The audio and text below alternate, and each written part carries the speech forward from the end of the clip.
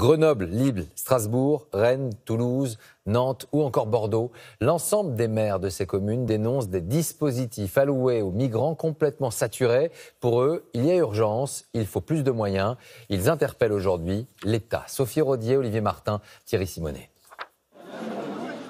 Un cri d'alarme signé par les maires de grandes villes de France, de droite comme de gauche, de Martine Aubry à Alain Juppé. Accueillir dignement les nouveaux habitants relève de nos responsabilités à tous. Cet accueil est une véritable obligation éthique et un défi que notre humanité doit relever. Éric Piolle, maire de Grenoble, est l'un des signataires de cette tribune. Dans sa ville, comme partout en France, le nombre de migrants a sensiblement augmenté. Le maire a accru les moyens de l'hébergement d'urgence, mais il reproche à l'État de ne pas faire assez. Malgré une hausse hein, du, nombre de places euh, qui a été organisée par, l'État, cette hausse ne correspond en rien euh, aux besoins. On retrouve des bidonvilles, hein, comme on avait dans les années 60 et 70. On retrouve ça à l'échelle de la France.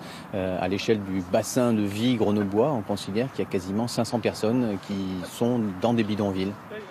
Même constat à Strasbourg et à Lille, où, faute d'hébergement, les migrants installent des campements dans les rues. Certains sont en attente d'une demande d'asile. Mais quand elle est refusée, plus aucune solution de prise en charge. Souvent, il ne se passe rien. Le problème, c'est qu'aujourd'hui, euh, l'État euh, déboute un certain nombre de personnes de leur demande de droit d'asile, sauf que ces personnes, une fois qu'elles sont déboutées, elles ne vont pas euh, dans tel ou tel pays. Elles restent ici, elles restent ici sans, sans statut. Aujourd'hui, ces maires demandent à l'État de les associer aux décisions et d'assurer une réponse cohérente sur tout le territoire.